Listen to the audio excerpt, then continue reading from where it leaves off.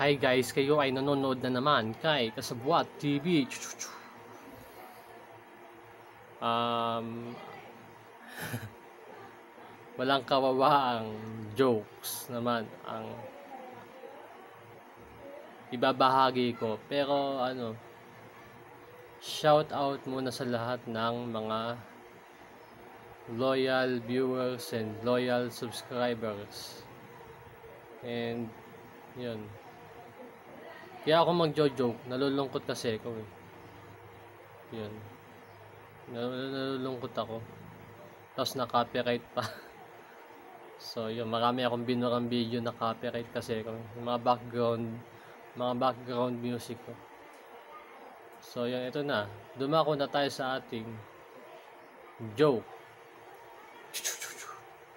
Ito, may joke ako kay ano, kina Mr. and Mrs. B. Um, Mr. and Mrs. B, may joke, may joke po ako sa inyo. Um, ano, kanina, may nakasalubong akong, ano, may nakasalubong akong dalawang naka, ano eh, nakaitim eh. Nire- Nirecruit nila ako, sabi nila, ano, gusto mong ano, maging makapangyarihan, sumapi ka sa aming ano, kulto. Yun. Sumapi na ako sa kanila. So, dalawa lang silang ano eh, member ng kulto. So, pangatlo ako, bali cool 3. Cool 3. Cool 3 na kami. Tapos nag-recruit pa ako.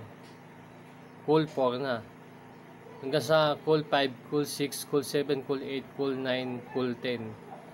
Yun, naging cool 10 na kami.